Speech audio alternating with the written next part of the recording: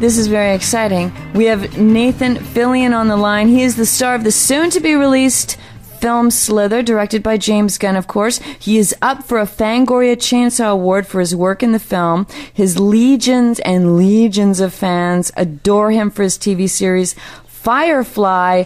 But tonight we're going to get him to talk about the award and stomp for his winning. Are you there, Nathan? I'm here. How you doing? Hey, Good. How are you? I'm doing all right. Thanks very much. Oh, okay, now I have to ask you, where exactly were you visually? Like, like, give us a, a visualization. Where were you when you found out about your Chainsaw Award nomination? I was uh, in my backyard having a little barbecue, and uh, James Gunn was in attendance, and he was the one who told me. Wow. Oh Yeah. boy. Right from the director. That's pretty cool. Now, if you, um, okay, you're at the, you s- visualize yourself at the Fangoria Chainsaw Awards, right? Uh-huh, You're sitting in the audience. They call out you now. You just won the award. Dude not to mess with. Hero award. Nathan Fillion, come on up on stage, get your award. What are you going to do? Okay, here's what I imagine. I'll be dressed very nicely, you know, something in a dark suit, maybe some blue in a shirt to bring out my eyes. Mm, oh. Then I, I assume, now this is my first Fangoria Award ceremony, I'm going to assume they're going to spray me with blood and guts just before I get on stage and some such. It's going to get me in the mood. Okay. I, I, I assume that's going to happen. That's I sure hope so. I can, I can, I can have my hopes. Yes. Now I'm going to get up there, and uh, I'm going to start with the people I'm. I, I'm sure I don't want to forget. You know, you're going to go with God and your parents and all that kind of Yeah, stuff. yes. Okay. Uh, but then you're going to get into the nitty gritty of it, and then you'll get into all the stuff that you know grossed you out throughout your life, like uh, the time you were on the bus when you were in fifth grade and you stuck your fingers down Camger Man's throat and he threw up everywhere. Right, right, You know, right. like that kind of stuff. That's going to have to come up. Do you uh, do you see getting the hook after about ten minutes of that? You know, I don't. I'm, I can't. I can't tell what kind of music they would play to play me off. But so long as you're louder than the music, I think you can really handle it. Yeah. Now, you, Whatever you podium is there, make sure it's bolted down. You get a grip on that podium. exactly. But you've already won an award for your work in Firefly in 2002, right? So being nominated for a prestigious award like this one, the Fangoria Chainsaw Award, it's nothing new to you. yeah, I got the uh, I got the Saturn Award for Man of Tomorrow. That's pretty cool. Wow. Yes. But what, which what is- I found out after the award was Tomorrow Never Comes. Oh. But I got the award. But Hey Nathan, if if you do win a chainsaw, where are you going to put it? Uh, my mantle. Okay. Yeah, it's got to go to the mantle. Absolutely. That'll now, work. now, what is your fan base? Okay, the Firefly fans, uh, Serenity fans. What has their reaction been to Slither?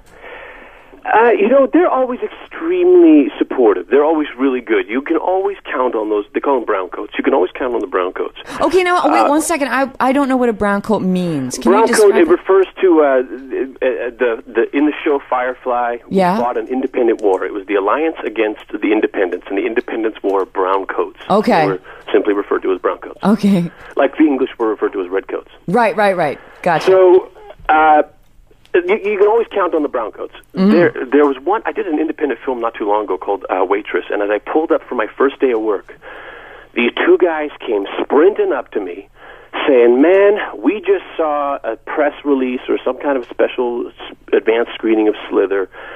And with one fella, I got to tell you, he was head to toe tattoos of zombies.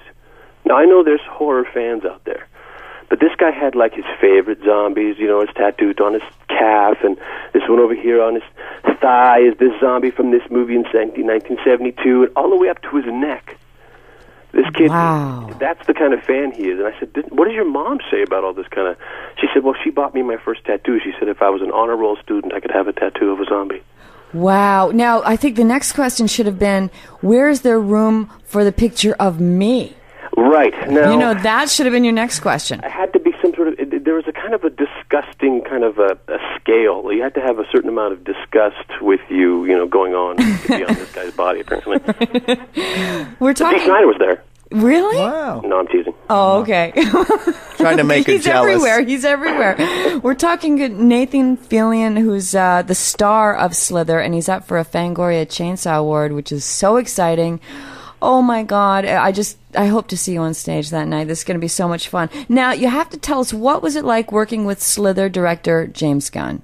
That was pretty cool. You know, James Gunn is the kind of uh, he's like that um, I picture him the kind of same kind of director as they had like in the Roaring Twenties when there was no sound in the in, the- in the pictures, you know, because he'll be off off the side and he'll be watching in his little monitor and he'll scream out, "Okay, you're really really scared." Right. No, not that scared.